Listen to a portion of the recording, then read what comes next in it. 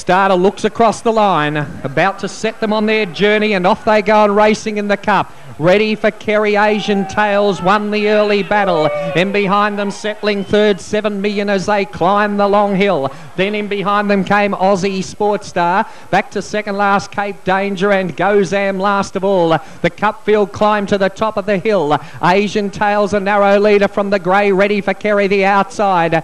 A racing over on the uh, inside there in the third placing as they go out of view was Cape Danger. Uh, they're followed by further back in the field came Aussie Aussie Sports Star. And back last of all there in the uh, field as they go in and out of the uh, trees, it would have been 7 million. So they're about to come back into clear view as they put the 1,000 metre mark behind them in the 2011 Dederang Cup. And uh, back into view they come. The grey ready for Kerry, a narrow leader. Asian Tails is second as they disappear again behind the trees here at Dederang. Racing to third, Aussie Sports Star, Cape Danger the outside. Then came in behind them 7 million. And uh, back to the rear of the field now was Gozam. 450 metres to go in the cup at the bottom of the track. Cape Danger has sprinted away from Ready for Kerry second. Asian Tails third, followed by Aussie Sports Star at the head of the rest. Then 7 million and last of all goes Gozam. They swing the home turn and straighten up in the cup. Cape Danger the one to catch.